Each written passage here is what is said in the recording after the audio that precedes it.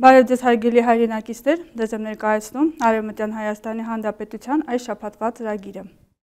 Մարտի 2-ին տեղի ունեցավ Արևմտյան Հայաստանի Հանրապետության կառավարության 4-րդ նիստը։ Նիստը նախագահում էր Արևմտյան Հայաստանի Հանրապետության նախագահ Տիկին Դիդիա Մարկոսյանը, Արմենակ Աբրահամյանի եւ կառավարության անդամների ներկայությամբ։ Նիստի ընթացքում քննարկվեցին Արևմտյան Հայաստանի կառավարության ընդհանուր իրավիճակը։ Արևմտյան Հայաստանի Հանրապետության առաջին նախագահ պարոն Արմենակ Աբրահամյանը անդադարձ է կատարել Արցախից բռնի տեղահանված ընտանիքներին պատճառված նյութական եւ ֆիզիկական վնասների վերաբերյալ տեղի ունեցող դատական process-ներին։ Պարոն Արմենակ Աբրահամյանը տեղեկացրել է, որ շարունակում է զբաղվել Արցախի քաղաքացիների, դիմումների եւ անհրաժեշտ փաստաթղթերի հավաքագրմամբ։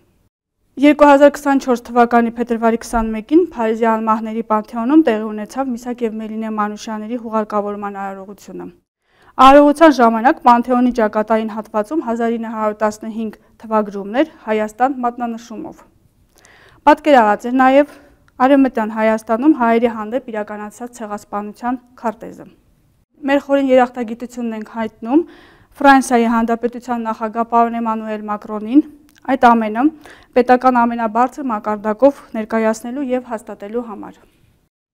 Նշեմ նաև, որ լույս է տեսել Western Armenia ամսագրի 18-րդ համարը։ Նոր համարում տեղ են գտել հոդվածներ, նվիրված Արևմտյան Հայաստանում հասարակարգի ընկալմանը, աշխարհում հայ ինքնության կառուցվածքին, տեղեկատվական ներազդվան գործողություններին։